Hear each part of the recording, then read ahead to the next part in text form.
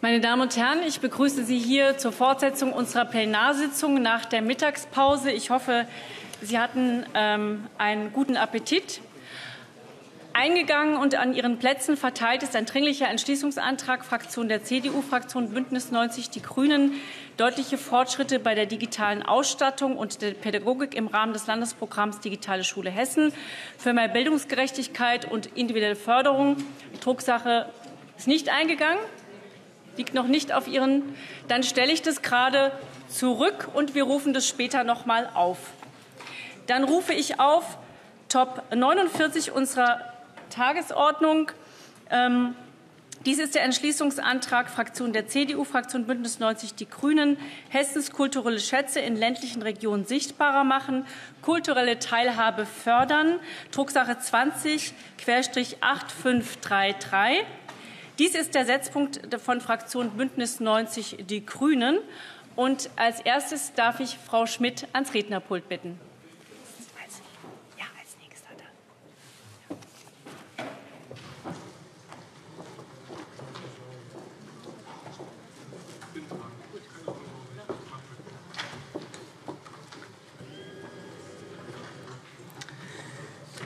Sehr geehrte Frau Präsidentin, meine sehr geehrten Damen und Herren! Heute ist Insiderwissen gefragt. Kennen Sie die Geschichte vom Riesen Uralt und der Köhlerhexe, der Wölfenhöhle, den Rittern von Elkerhausen oder vom Schinderhannes, den es ins Lahntal verschlug? Nein? Das, das lässt sich diesen Sommer nachholen. Denn auf einer mobilen Bühne werden die Geschichten durch kleine und große Märchenerzählerinnen, durch Musikerinnen, durch fantasievolle Kostüme und Requisiten lebendig. Die Märchen von Wellenschlag 22 spielen heute 20 Konzerte in vier verschiedenen Reihen an acht verschiedenen Orten. Jede Reihe mit anderen KooperationspartnerInnen. Die reichen vom Kindergarten über die Grundschule, über Theaterschule, Kulturverein Märchenhaus und den Magistrat der Stadt Weilburg. Alle sind mit im Boot. Begonnen von der Kreismusikschule in Oberlahn fördern wir in diesem Jahr mit der Neuauflage unseres erfolgreichen Open-Air-Programms ins Freie 2 ein Projekt, das hohe Wellen schlägt.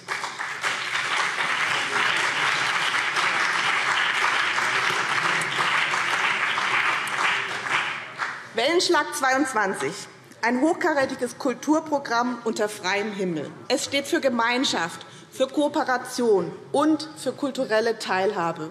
Kultur also in ihrem besten Sinne. Und das in diesem Jahr schon zum zweiten Mal. Eine Erfolgsgeschichte, die durch unsere Förderung fortgesetzt wird. Doch damit ist das Projekt nicht allein. Hinzu kommen in den ländlichen Regionen viele weitere Open-Air-Veranstaltungen, die wir durch ins Freie fördern. Denn wir haben insgesamt eine Million € der Mittel für Freiluftveranstaltungen abseits der Ballungszentren reserviert. Das machen wir ganz bewusst. Und ich will Ihnen sagen, was uns mehr als eine Million € wert ist. Kulturpolitik ist für uns nicht nur Stadtpolitik. Kulturpolitik, das ist Hessen.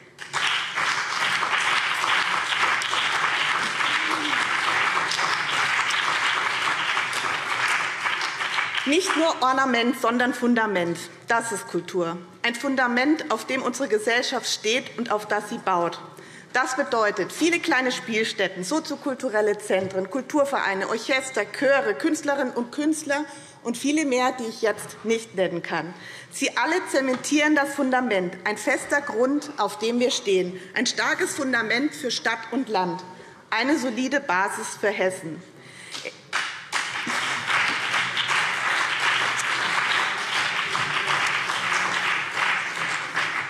In den ländlichen Regionen wird dies alles gefestigt von zahllosen Ehrenamtlichen, kreativen Ideen und indem wir gemeinsam die Ärmel hochkrempeln.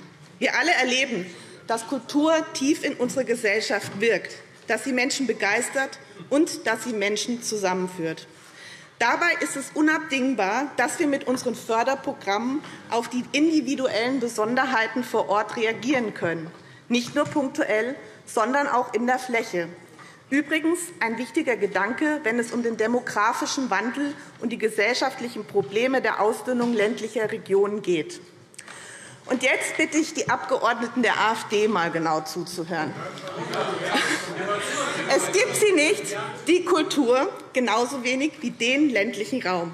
Stattdessen, sehr geehrte Damen und Herren, haben wir in Hessen unterschiedlichste Regionen, verschiedenste Herausforderungen und in unserem Bundesland ein vielfältiges und knallbuntes Kulturangebot. Diese Kultur ist nicht staatlich verordnet.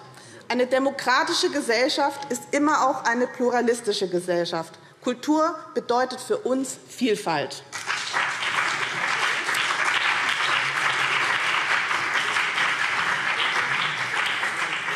Und ich will Ihnen erklären, wie wir diese Vielfalt unterstützen. Mit unserem erfolgreichen Förderprogramm Kulturkoffer zum Beispiel wurden in acht Ausschreibungsrunden bereits 250 Projekte aus den unterschiedlichsten Sparten gefördert knapp die Hälfte davon in unseren ländlichen Gebieten. Der Sinn dahinter, dass wir Kindern und Jugendlichen den Zugang zu Kunst und Kultur ermöglichen, und das unabhängig von Herkunft, unabhängig von Wohnort und unabhängig vom sozialen Umfeld. Und warum? Kulturelle Bildung prägt den Menschen. Sie bewegt seine Persönlichkeit. Sie ist ein Motor für die Entwicklung und begleitet uns bei gesellschaftlichen Veränderungen. Genauso wie der Kulturkoffer wirken unsere Musikschulen. Sie sind unverzichtbarer Bestandteil. Sie sind Zentren der Bildung und der Kreativität. Musizieren stiftet Identität. Herz, Hand und Verstand kommen hier zum Gleichklang. Deshalb versuchen wir mit den Kommunen zusammen eine langfristige, bessere und tragfähige Unterstützung zu schaffen, auch in dem Bewusstsein, dass wir noch ein Stück des Weges vor uns haben. Aber gerade deshalb liegen uns die Musikschulen so sehr am Herzen. Ohne Musik wäre es in unserem Land still. Dem wirken wir entgegen.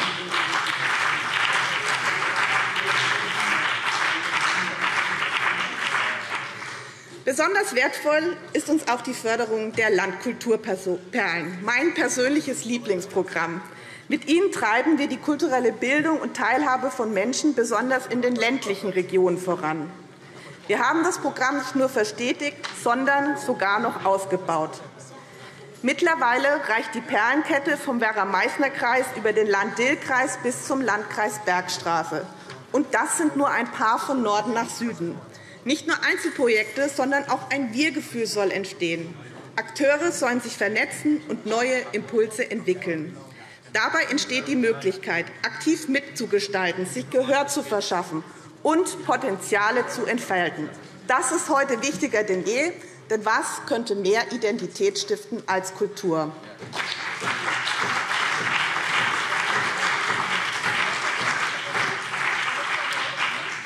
Stellen Sie sich vor, in Ihrer Nähe gibt es keine Kinos, keine Museen, keine Konzerthäuser oder Theater. Wie still wäre es dann? Umso wichtiger sind die soziokulturellen Zentren. Sie schaffen teilweise unter abenteuerlichen Bedingungen erstens Zugang zu kultureller Bildung, zweitens generationenübergreifende Teilhabe und drittens die Bindung an die Region, und das in der Stadt und auf dem Land. Sie sind demografische Anker, sie sind Haltepunkt und sie wirken der Landflucht entgegen. Genau aus diesem Grund haben wir in der vergangenen Legislatur die Mittel von 450.000 auf 946.000 € verdoppelt. Und in dieser Legislatur haben wir noch einen draufgesetzt. Die Mittel wurden erneut verdoppelt, insgesamt vervierfacht auf knapp 2 Millionen €. Das ist ein großer Erfolg.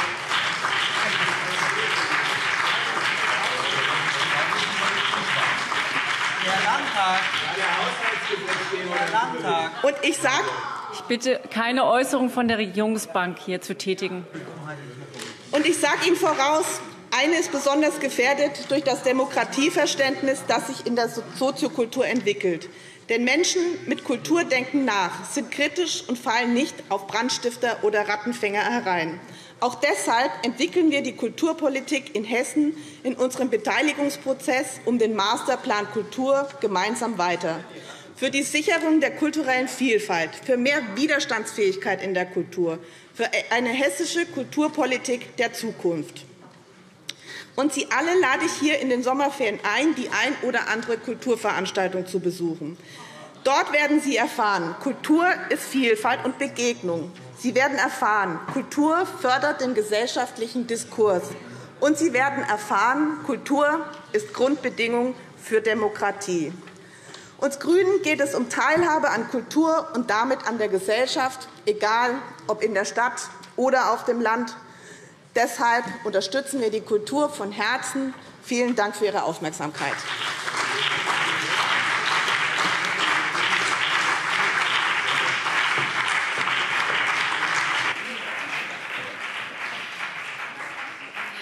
Für die FDP-Fraktion hat sich nun Herr Dr. Naas zu Wort gemeldet.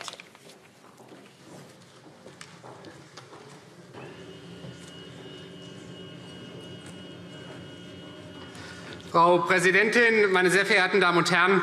Die Förderung von Kunst und Kultur ist Staatsziel in Hessen. So steht es in unserer Verfassung. Und hinter diesem Anspruch stehen wir Freie Demokraten voll und ganz, denn Kunst und Kultur sind Töchter der Freiheit. Aber, aber in der Corona-Krise hat sich gezeigt, zu oft kommen Kunst und Kultur zu kurz und leider gerade bei dieser Landesregierung. Und deswegen möchte ich äh, mich dem Dank von Miriam Schmidt an die vielen Künstlerinnen und Künstler hier anschließen. Wir teilen nämlich die Sorge um die Kultur in Hessen. Meine sehr verehrten Damen und Herren, die Künstlerinnen und Künstler sind im Kern sind der Kern unserer Kultur. Sie leisten Großartiges, und das zum Trotz von sehr schwierigen wirtschaftlichen Bedingungen und auch mangelnder Unterstützung gerade der Soloselbstständigen durch die Landesregierung in den letzten beiden Jahren. Die meisten haben es trotzdem geschafft, weil es ihnen um die Kultur an sich geht. Meine Damen und Herren, unsere Kultur- und Kunstszene in Hessen ist sehr vielfältig. Wir haben die Staatstheater in Kassel, in Darmstadt, in Wiesbaden, aber auch freie Theater wie Drei Hasen oben. Wir haben die Junge Musik Hessen, wir haben ein Museum für elektronische Musik in Frankfurt. Wir haben das große Städel und das kleine Heimatmuseum in Sulzbach am Taunus.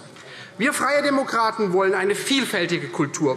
Aber wir wollen auch eine freie Kultur. Und wir wollen vor allem, Frau Ministerin, Kultur für alle Menschen. Wir wollen Teilhabe. Und für diese Teilhabe braucht es einen Zugang, braucht es kulturelle Bildung. Denn wer nicht weiß, wie Museen die eigene Fantasie anregen können, Wer keinen Abend in der Oper je verbracht und erlebt hat, wer nie auf einem Festival wie der Sommerwerft war, dem wird das Salz im Leben fehlen, wie es eben die Kultur vermittelt. Meine Damen und Herren, kulturelle Bildung muss bei Kindern und Jugendlichen anfangen. Was für eine Fantasie hatten wir als Kinder? Welche Fähigkeit, unbefangen zu malen oder beim Theaterspielen in eine andere Rolle zu schlüpfen? Der Regierung scheint leider diese Fantasie abhanden gekommen zu sein. Und, meine Damen und Herren, um alle, um alle Kinder und Jugendliche in Hessen zu erreichen, muss kulturelle Bildung erstens niederschwellig sein und zweitens überall vertreten sein, und zwar in Stadt und Land, meine sehr verehrten Damen und Herren.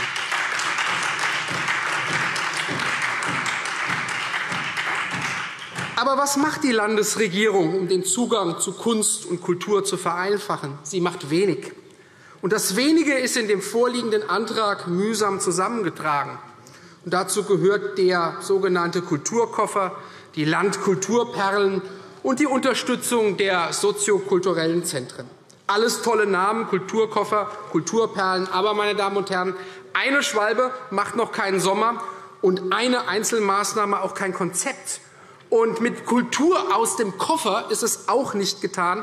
Denn, meine sehr verehrten Damen und Herren, mit wenigen Einzelmaßnahmen plus einer Presseerklärung ist das insgesamt hier zu wenig. Und dann bin ich bei dem Thema, was Sie, Frau Kollegin Schmidt, angesprochen haben. Wo bleibt denn der Masterplan Kultur? Seit Jahren angekündigt, Frau Ministerin. Erst sollte er im Frühjahr 2022, glaube ich, dieses Jahr, vorgestellt werden, dann im dritten Quartal. Jetzt heißt es, Ende des Jahres soll er vorliegen. Frau Dorn, dann sind Sie vier Jahre im Amt, Frau Ministerin, und äh, wursteln immer noch an der Bestandsaufnahme. Wann fangen Sie denn eigentlich mit der Umsetzung an? Der Masterplan sollte nämlich nicht nur den Status quo beschreiben. Wir brauchen, meine sehr verehrten Damen und Herren, auch konkrete Umsetzungsschritte in der Breite.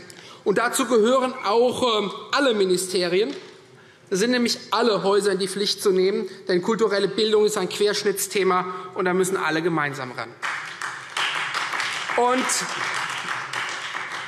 deswegen müssen wir flächendeckend die sogenannten dritten Orte als besondere Orte der Kultur die müssen wir stärken. Gerade im ländlichen Raum brauchen wir niederschwellige Orte der Kultur, Wohnzimmer eines Ortes wie die Bibliotheken.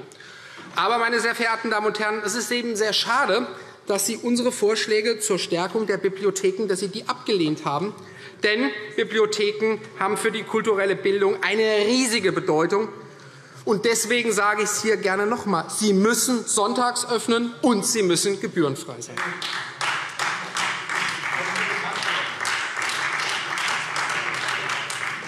Meine Damen und Herren, eine stärkere institutionelle Förderung braucht es auch bei den Musikschulen. Und da finde ich den Passus Ihres Antrags, liebe Kolleginnen und Kollegen von den GRÜNEN, schon frech. Die SPD hat vor anderthalb Jahren einen Gesetzentwurf dazu eingereicht, und seitdem ist nichts passiert. Die Förderung der Musikschulen durch das Land liegt in Hessen bei gerade einmal 5% und Das ist vollkommen unzureichend. Und hier muss die Landesregierung hier muss die Landesregierung mehr tun. Bibliotheken und äh, Musikschulen müssen endlich besser gefördert werden.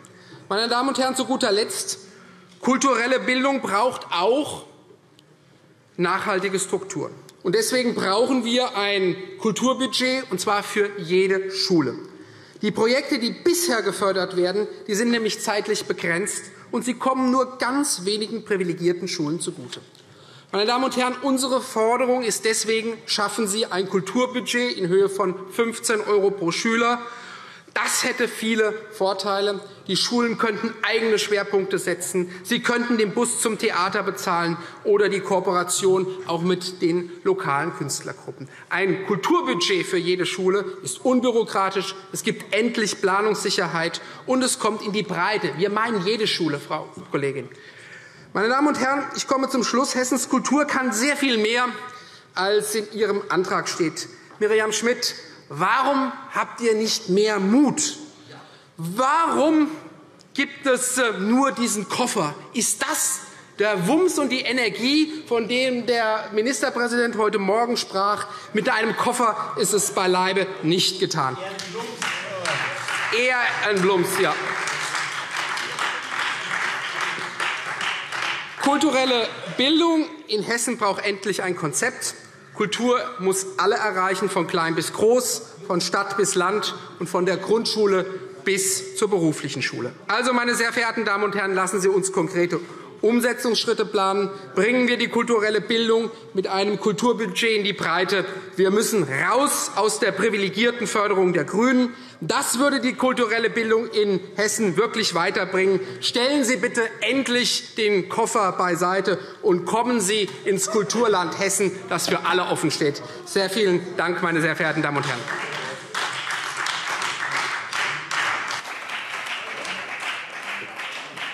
Für die AfD-Fraktion bitte ich nun Dr. Grobe nach vorne ans Rednerpult. Sehr geehrte Frau Präsidentin, sehr geehrte Damen und Herren Abgeordnete! Als ich den Antrag der GRÜNEN las, erinnerte ich mich sofort an das Lied von Police Die du du du, die da da da. Dort geht es nicht Dort geht es nicht, wie Sie sicherlich vermuten, um Babysprache, sondern, wie es Sting ausdrückte, um Banalität, um den Missbrauch von Wörtern. Es geht darum, dass die Bürger von den Politikern hinters Licht geführt werden. Also ähnlich wie mit Ihrem täglichen Gendergaga, und das zeigt sich deutlich beim Titel Ihres Antrags.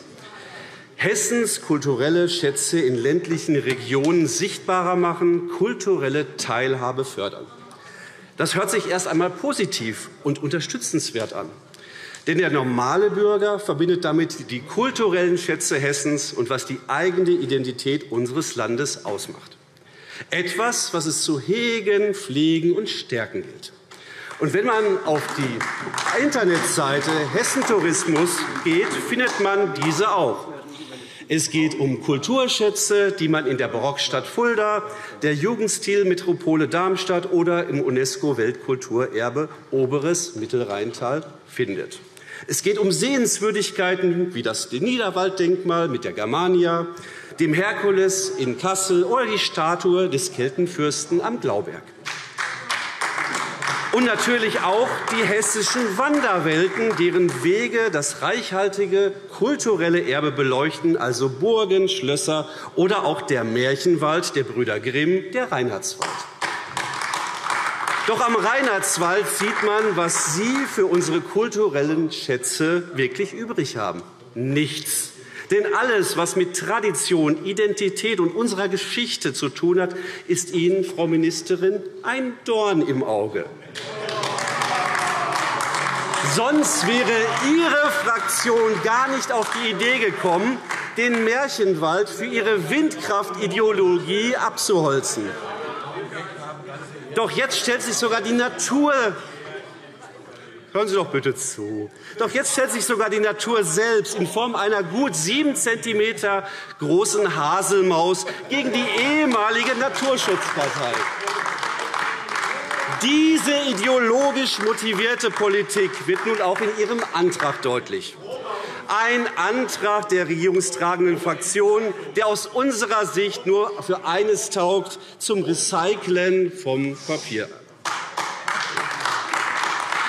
Denn es geht Ihnen nicht darum, die wahren Schätze des Hessens zu bewahren, sondern nur um Ihre Klientel zu bedienen. Und mehr nicht. Ihr Motiv mag die Einstimmung auf den Landtagswahlkampf 2023 sein. Nach dem Motto, wir tun alles, um dem bereits in ethnischer Hinsicht bunten Hessen auch bei der kulturellen Ausgestaltung seines ländlichen Raumes zweifelhafte Vielfalt zukommen zu lassen. Denn, denn anders ist es nicht zu erklären, dass Sie wieder einmal Unsummen in der linken Subkultur versenken wollen, die ohne staatliche Förderung schon vor dem ersten Projekt pleite wäre. Denn der normale Bürger will mit Politkunst nichts zu tun haben. Auf der Strecke bleiben dürfte dabei die Identität Hessens, welches sich in den bunten Mischmasch aufzulösen droht. Dem treten wir entschieden entgegen. Denn wir setzen uns dafür ein, dass insbesondere solche Artefakte früheren und gegenwärtigen hessischen Kulturgeschaffens gefördert werden, welche als Träger deutscher Kultur mit hessischer Ausprägung in Betracht kommen. Hierzu gehören z. B. das Geburtshaus Goethes in Frankfurt am Main, ebenso wie die mutmaßlich letzte Ruhestätte Hindenburgs in Marburg an der Lahn. Doch wahrscheinlich bekommen schon bei der Erwähnung Hindenburgs nicht nur die Genossen links außen Schnappatmung. Beide Persönlichkeiten prägten Phasen der deutschen Geschichte mit. Ihr Schaffen ist aus jenen Phasen heraus zu begreifen und darf nicht mit heutigen Maßstäben bewertet werden. Schließlich sind sowohl Goethe als auch Hindenburg Kinder ihrer Zeit. Die derzeit im öffentlichen Raum zu beobachtende moralisierende Geschichtsbetrachtung lehnen wir entschieden ab. Denn sie ist erkenntnisfrei und identitätszerstörend. Zudem verbrennt sie unnötig Steuergeld. Zu den Musikschulen haben wir bereits in früheren Plenardebatten ausführlich Stellung genommen. Nur eins dazu. Wir stehen diesen nach wie vor positiv gegenüber, möchten diese aber in den Bereich des Kultusministeriums überführen und an die öffentlichen Schulen angliedern. Damit würden Sie den Musiklehrern auch finanziell helfen. Diese wären sicher dankbar, wenn Sie ihnen in der heutigen Zeit, in der durch Ihre Politik alles teurer wird, ein wenig unter die Arme greifen können. Wir bitten daher, bei der Abstimmung über diesen Punkt 4 getrennt abzustimmen. Da alles zu dem überflüssigen Schaufensterantrag gesagt ist, gebe ich Ihnen einmal etwas Konstruktives mit auf den Weg. Schaffen wir, schaffen wir, gemeinsam ein hessisches Kulturfördergesetz als Beitrag zu einer systematischen Stärkung der deutschen Leitkultur. Nicht nur im ländlichen Raum, sondern in ganz Hessen. Das nimmt auch der Bürger positiv auf und fühlt sich nicht wieder hinter die Fichte geführt. Und denken Sie an das eingangs zitierte Lied von Police. Dort heißt es übersetzt, Poeten, Kirchenmänner und Politiker verdanken Worten ihre Stellung, Worten, die nach deiner Unterwerfung schreien. Und noch eine Frage an Kollegin Schmidt von den Grünen. Wer sind die Ratten, die von den angeblichen Rattenfänger gefangen werden? Sind es die Bürger? Vielen Dank.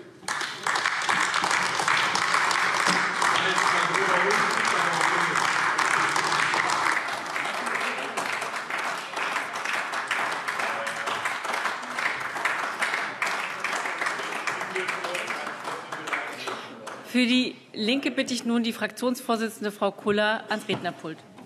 Warum hast du so große Zähne? Aha.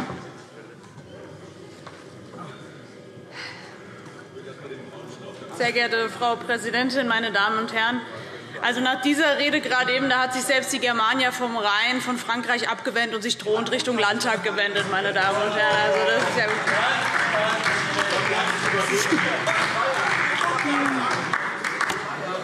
ich bin wie wahrscheinlich viele von Ihnen äh, im ländlich geprägten Hessen auf dem Land aufgewachsen, nämlich im schönen mittelhessischen Grünberg, genauer gesagt in Gübbelnroth. Ich weiß nicht, ob jemand von Ihnen das Dorf kennt. Äh, wahrscheinlich nicht. Ich kann es nur wärmstens empfehlen, einen Besuch dieses Dorfs, vor allen Dingen mit einem Abstecher ähm, zum malerischen Wirberg mit der schönen Kirche und der evangelischen Bildungs- und Begegnungsstätte, also der ländliche Raum in Hessen. Da kann man echt viel Werbung für machen. Das kann nicht schaden. Aber leider hat es ja auch viele Gründe, warum in unseren Dörfern, auch in Göbelnroth und Kleinstädten, viele Häuser und Wohnungen leer stehen. Und dazu gehört äh, neben fehlender digitaler Infrastruktur zu wenig bezahlbarer und passender Wohnraum und fehlender ÖPNV auch ähm, ein oft zumindest löchriges kulturelles Angebot. Das liegt nicht daran, dass die Kommunen im ländlichen Raum sich für Kultur überhaupt nicht interessieren. Vielmehr ist Kultur schlichtweg keine Pflichtaufgabe der hessischen Kommunen. Aber, ähm, wie der Kollege gerade schon gesagt hat, es ist Staatsziel des Landes Hessen. Und kulturelle Angebote sind somit auch und vor allem von der Finanzkraft der jeweiligen Kommune vor Ort abhängig. Wir finden, Kunst und Kultur sollte allen Hessinnen und Hessen in ihrem direkten Nahumfeld zugänglich sein, unabhängig davon, ob sie in Bad Homburg oder in Oberseiberten-Roth wohnen. Und ja, es gibt auch im ländlichen Raum alle fragen sich jetzt, wo Obersalberten-Rot liegt. Der Herr Michael Ruhl weiß es, das ist im Pulsberg. Ah, ja, die Frau Goldbach auch, das ist gut. Und ja, es gibt auch im ländlichen Raum in Hessen ähm, kulturelle Angebote, das ist doch ganz klar. Neben Gesangs- und Tanzvereinen, Obst- und Gartenbauvereinen, ehrenamtlich betriebenen Heimatmuseen usw. So bietet beispielsweise auch die Landesarbeitsgemeinschaft äh, der Kulturinitiativen und soziokulturellen Zentren jährlich an die 3.500 Veranstaltungen an, unter anderem auch im ländlichen Raum. Aber vieles ist in den vergangenen Jahrzehnten auch weggebrochen. Das gehört auch zur Realität ähm, dazu. Vereine sind überaltert oder bieten nicht das kulturelle Angebot, das sich jüngere Menschen vielleicht wünschen würden. Deswegen ist es richtig und wichtig, dass die Landesregierung aktiv wird, um Kultur auf dem Land auch weiterhin zu unterstützen. Wir können der Wissenschaftsministerin nicht absprechen, dass ihr die Kunst- und Kulturlandschaft am Herzen liegt. Tatsächlich findet ja eine Stärkung der Angebote und eine höhere Finanzierung ähm, statt, und das ist auch in Ordnung. Schaut man aber im Detail hin, da gibt es doch noch sehr viel zu tun, gerade nach den Einschnitten der Corona-Pandemie. Sie hat dazu geführt, dass fast allerorts Kulturveranstaltungen im großen Stil abgesagt werden mussten. Viele Kulturschaffenden ist durch die Auswirkungen der Pandemie ihre ganze finanzielle Existenzgrundlage abhanden gekommen. Das konnten auch die Hilfsprogramme von Bund und Land nicht abfedern. Kleine Kinos und Theaterstätten mussten ihre Türen für immer schließen, und Künstlerinnen und Künstler wurden in andere Berufe gedrängt und sind in ihrer Existenz bedroht. Deswegen wäre es dringend notwendig, auch jetzt noch Auffangsysteme für hessische Kulturschaffende, aber auch die gesamte Branche zu schaffen. Da ist das Gröbste noch längst nicht überstanden.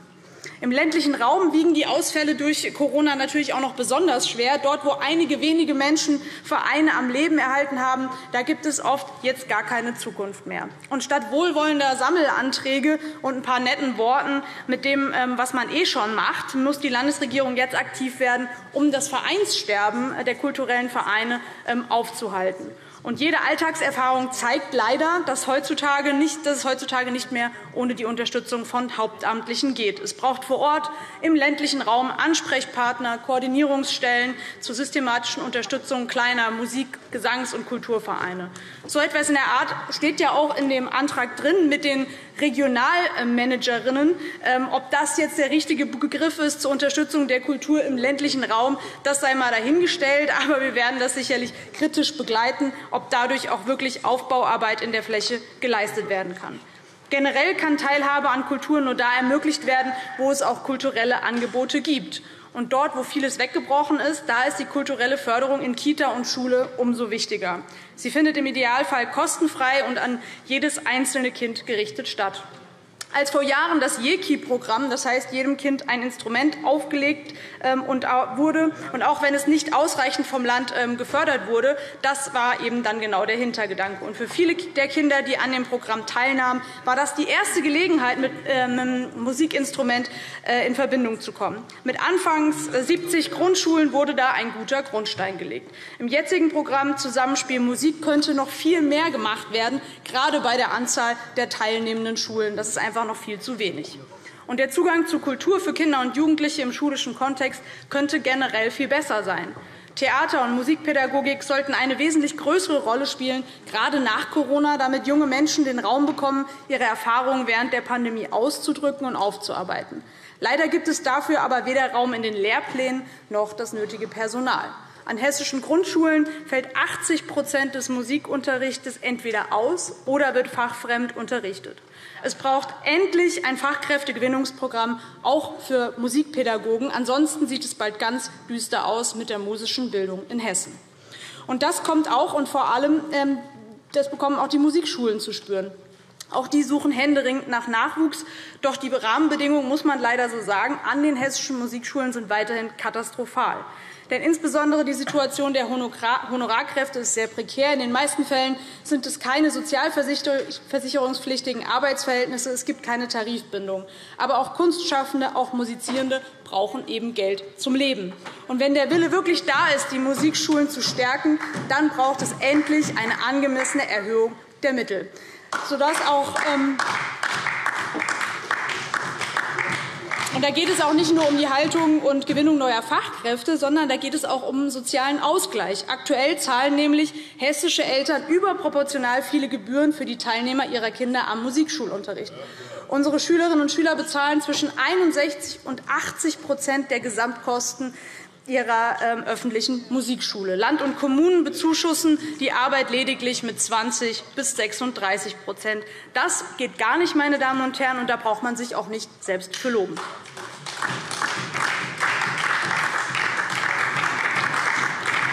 Ein reiches, Land, ein reiches Land wie Hessen sollte, sich zumindest, äh, sollte zumindest ein Drittel der Kosten tragen, ein Drittel die Kommunen, ein Drittel die Eltern. Aber da, selbst dagegen ähm, verwehren sie sich. Insgesamt muss auch das Land mehr dafür tun, dass kulturelle Angebote allen Menschen, auch denen mit sehr geringem Einkommen, offenstehen. Teilweise sind ja Ticketpreise ähm, schon ähm, sehr, sehr hoch, wenn wir gerade an die sogenannte Hochkultur denken, die dann doch oft auch nur einem finanziell gut ausgestatteten Publikum ähm, zugänglich ist. Es ist gut und richtig, dass die hessischen Zentren der Soziokultur eine deutlich höhere Förderung äh, bekommen sollen. Wie wichtig sie sind, das zeigt jetzt auch ihr Engagement für Kriegsflüchtlinge aus der Ukraine. Die Unterstützung kleiner Festivals im ländlichen Raum äh, ist auch begrüßenswert. Allerdings zielt das Programm ins Freie auf eine relativ schmale ähm, Zielgruppe, weil da gibt es doch eine sehr enge inhaltliche Ausrichtung. Und kleine Musikfestivals, wie ich sie jetzt besuche, äh, kleinere Metal-Festivals, die von kleinen Clubs organisiert werden, mit denen ich mich auch sehr verbunden fühle, die, für die war es doch ziemlich schwer, an diese Fördermittel heranzukommen bei der Konzeption ähm, des Programms. Alles in allem sind es also ganz gute Ansätze, aber grundlegende Probleme wie die anhaltende Projekteritis in der Kulturfinanzierung die bleiben bestehen. Und das können wir auch gerne ähm, immer wieder hier ähm, diskutieren. Vielleicht ja, wenn endlich mal der Masterplan Kultur vorgelegt wird. Ähm, da sind wir auch sehr gespannt. Und, genau, wir finden, endlich muss sich etwas tun, grundlegend in der Finanzierung der Kultur, nicht immer nur Projekte. Wir brauchen endlich eine anständige Ausstattung, Musikschulen, Bibliotheken, Kulturszene. Vielen Dank.